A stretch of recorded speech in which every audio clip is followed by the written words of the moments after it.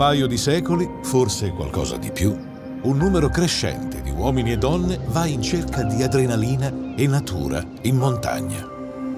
Alcuni le trovano sulle cime più alte del mondo, altri sul Monte Bianco o sulle grandi pareti di roccia delle Dolomiti. Il nostro racconto è dedicato al Lazio, che molti considerano una terra di città, di colline e di spiagge. Ma l'avventura in verticale esiste anche qui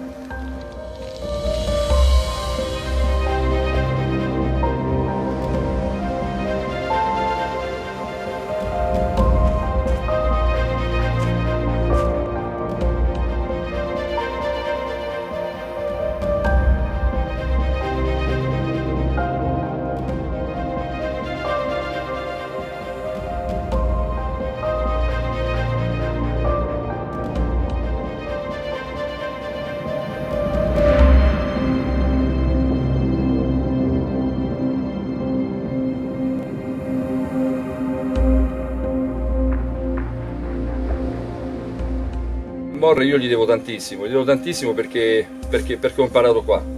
Tuttora ci vengo e ecco mi rimetto a contare i metri, facevo 1000 metri in 47 minuti. Adesso la faccio rivedere.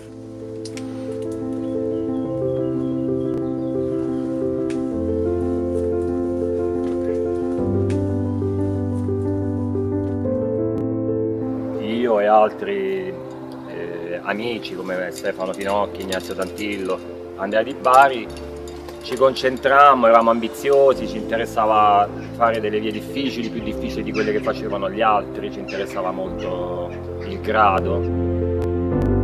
Molti vi diranno l'aspetto romantico, la scalata, la bellezza del, del posto, le dita sulla roccia, in realtà queste per noi a quell'epoca erano tutte cavolate, cioè a noi interessava il grado, fare la via più difficile dell'altro, essere i primi a fare una via difficile.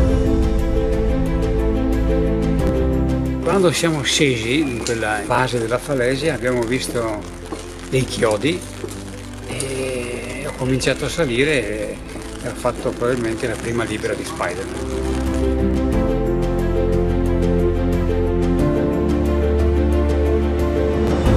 Scopersi il Giappone perché il Giappone, lo Zen, ha la parte fisica che è molto importante e io ero e sono ancora uno attento alla parte fisica.